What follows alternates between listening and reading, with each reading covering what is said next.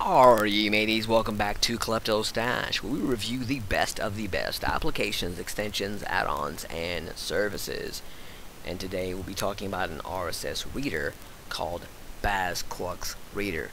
That is as good as Google Reader was. Uh, don't rely on Google. Please don't. Let's check it out, shall we? BazQux Reader. Fast, clean, and unique feed reader check out the interface. And this is just one of the views that it gives you. Let's get into the features. Clean user interface. We designed the reader to make sure that nothing disturbs you from reading.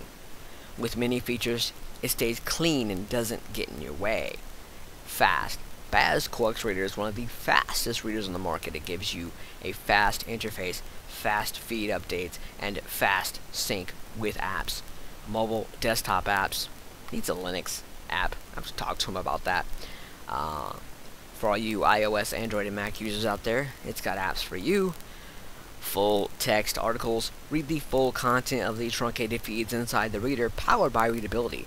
This is great. So you, you click on an article that you're interested in, and you, uh, you hit a shortcut, or you hit the Readability button, and instead of you getting a little snippet of the article, you get the full article that you can read. Um, multiple view modes, you can choose your view for each feed. That's awesome. List, Mosaic, Magazine, Expanded, and Mixed views for folders and the latest stream.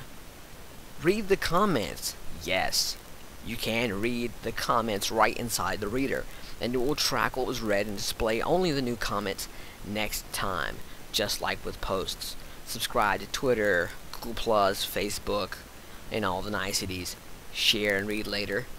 Uh, share articles via email, Facebook, Google+, Plus, Twitter. Save to, to Pocket, Instapaper, Evernote, or Pinboard. Tag and star. Organize articles with stars or tags. Let's say you tag this one as awesome, tag the next one as uh, check it out later, or you can star it just to archive it. Search through feeds, folders, tags, item, unread, or all. Quick start sign in find your favorite feeds or import uh, the uh, OPML file and just start reading. Let's check out the interface. This one in particular is mine and uh, I have a, a, massive feed that I use for uh, personal as well as business and this one is just for my technology and this is all my items right here uh, because I don't have any new ones at the moment that I know of I just wanted to have something to show you here check how fast this is you see that? You don't really have to scroll this fast. But you see there's no pausing. There's no loading. There's no waiting. You can scroll as fast as your eye can keep up. It is excellent. It updates like zero minute, like every five minutes. What's that? I just saw something interesting. Oh. I mean, this is great. It has different views. Let's check out some of the different views here. Uh, okay. You see this one? This one is expanded view with comments. This one's expanded views. No comments here. This one is mag magazine view. See? Looks kind of cool, doesn't it? Not my style, though. Mo Mosaic view. Interesting, interesting. And my favorite, list view, as we were just taking a look at. And you, and you see here, if I go back to show new, I don't have any new items. I'm just showing you the ones I already have. Go to show all. Again, let me just keep scrolling here for a minute. Just to show you how great this is. Just keep scrolling. I'm going to keep scrolling and keep talking. I normally get about uh, about 8,000 articles um, when I wake up in the morning. It takes me about two hours to go through them all. I go through them all pretty fast, and I pick the ones I like. Um, and well, since it updates every five minutes, you can get a lot of articles. I mean, once I got started on this, it just got massive. Have I paused yet? Has it started loading yet? No, it hasn't. And you look over here, that was an article a day ago. And even tells you the time period. Now, You're probably asking yourself, hey, where are all the features you described? Well, of course you see the search thing here. But see this little itty bitty button right here?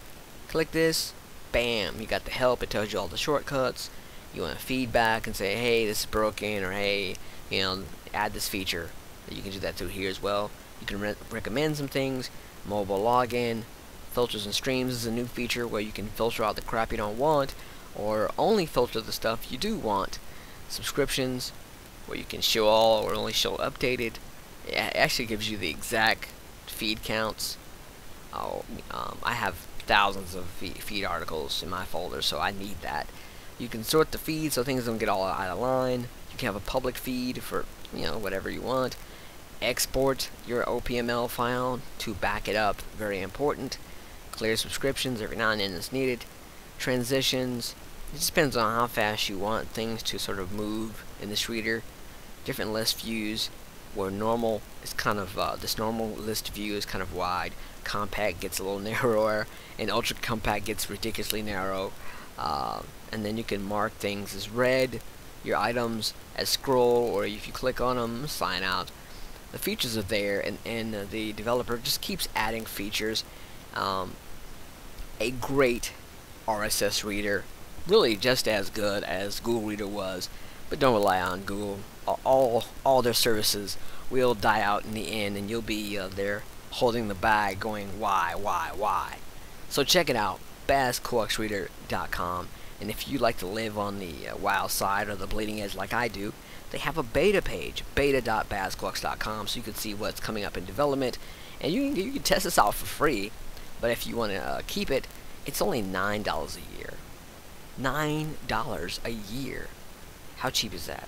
You could pay 19 a year or you could pay whatever you want to a year but the default is $9 a year.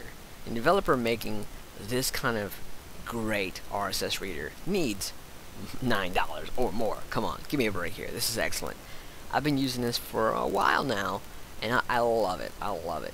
When the Google Reader died I tried out every RSS reader out there and the only one really that is as good as this one is Inoreader Inoreader but uh, I, have tested out both of these, but I like this one a little bit better. Uh, it's just faster, it's not choppy, and it, it, you know, there's no time for loading and no wasted time. You get straight to business, looking at the things you're interested in. So check it out, BazQux Reader. And uh, as you scroll through all your different feeds and stuff, it will it will show updates right in front of your face. You don't have to click on anything, you don't have to do anything, the updates will be right there for you. One of the best RSS readers I've ever used. Check it out, bazqux.com. I've been Klepto, you've been cool, and as always, you can catch me over at the Linux Distro Community Chat Room in Freenode. I'm there as Kleptos. I'll see you again soon.